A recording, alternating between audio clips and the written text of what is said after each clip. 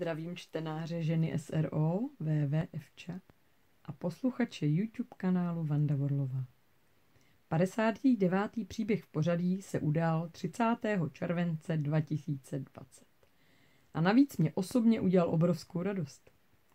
Intuitivní, přesto náhodné, alias příležitostní setkání s Dagmarou.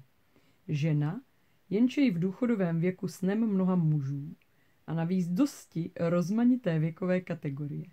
Vždy elegantní a o minimálně deset let mladistvěji vypadající si dnes a pozor sama od sebe řekla o péči a pomoc. Zázrak. Potřebovala sklidnit od svých extrémně závodních myšlenek. A jelikož ví, že pouze dech toto zajistí, prošla jsem s ní dýchání, dýchání versus myšlenkové pochody a uvolňování karpálů. Zároveň mi sdělila, jak ji extrémně brní pravé rameno že s tím potřebuje něco udělat. Odvětí mi, že nejvhodnější je celá sestava Evča pohybu. Vyděšeně na mě pohlédla, že tolik času nemá. Spěchá.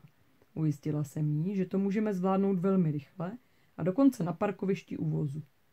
Pravděpodobně byla bolestí z ramene proudící natolik oslabena, že souhlasila. Pustili jsme se do toho. Prováděla jsem ji slovem i ukázkou zároveň. Během 15 minut jsme zvládli pozice.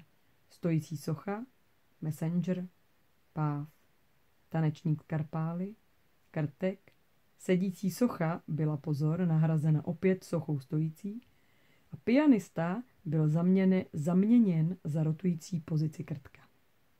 Zakončili jsme to ninjou. To vše s řádným dechem. Po každé pozici jsme vyklepávali ruce i nohy. A co nastalo? Do mě jakoby vlétla neuvěřitelná dávka energie a Dagmar s radostí vyhrkla, že brnění a silná bolest z ramene ustoupila. Objala mě. Co k tomu víc dodat? Evča pohybu pomáhá a je přínosná. Kdykoliv, kdekoliv, komukoliv. Dá se aplikovat v čemkoliv a můžete ji doslova praktikovat s kýmkoliv. Příjemné dny přeji a s šetrným pohybem se pro dnešek loučím s vámi všemi.